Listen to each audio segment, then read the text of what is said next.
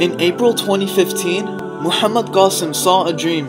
In this dream, the Prophet of Allah wasallam talked to me on a device similar to a phone. From his voice, it seemed that he was very old, tired, and worried. He said, Qasim, I called many people but none of them have listened to me. Now I'm very tired and I don't have any more strength. I said, Tell me what to do. I'm here for you. He said, Qasim, I want to meet you. There is very important work. Can you come to me? I said, Why not? I just have to make my passport and get the visa. He said, Okay, but please do this quickly. I went to the travel agency and they said it will take 3 to 4 months.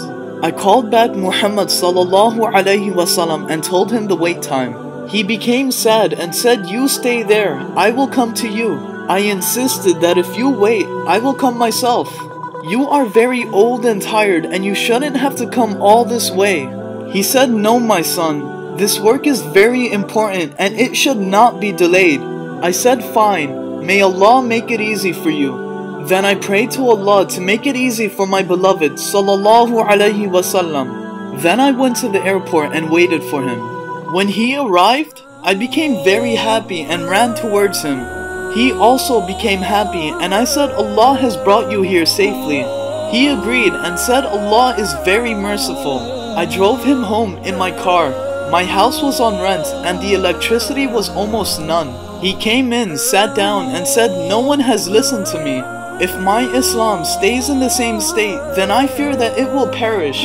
Everyone is busy in their own work, and no one is worried about me or my Islam. I want you to share the dreams that Allah has shown you, and spread my message among the people. I brought a device so you can share your dreams and my message. And also, tell the Muslims that I said this.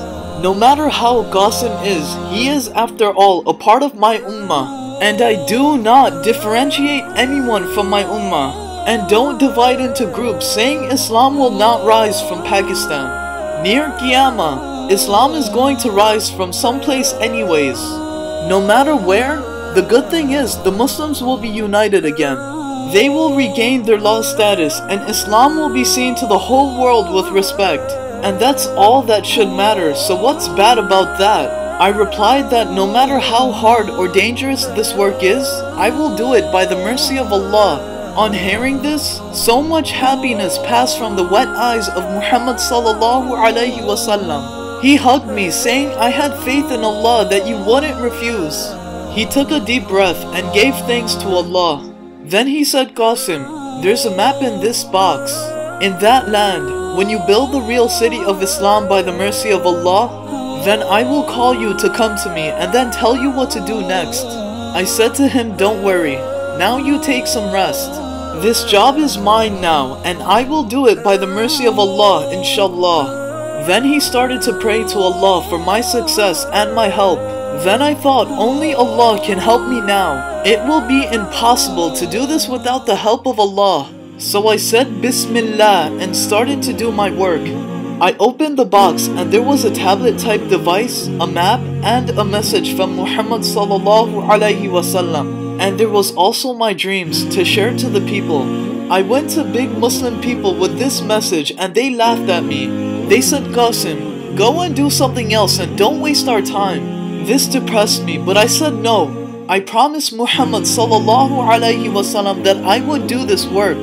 Then I opened the map to see Khurasan and a drawing of a land in the east of Khurasan, which looked like Pakistan. Then there was a note saying if near Qiyamah you see the real Islam spreading in the land before Khurasan, then join it even if you have to crawl with naked feet over mountains to get there.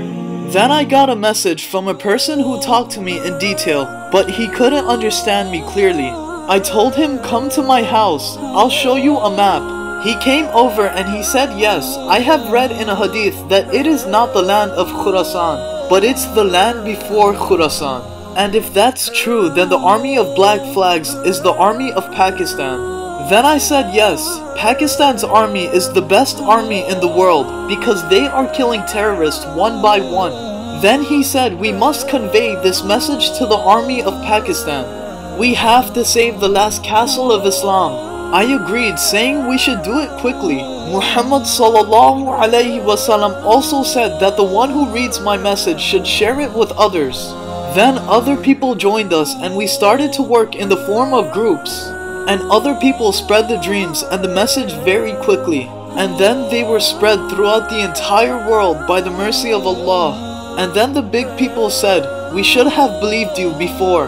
I said to them that if Allah was never merciful and didn't help us, then we would have never been able to accomplish this.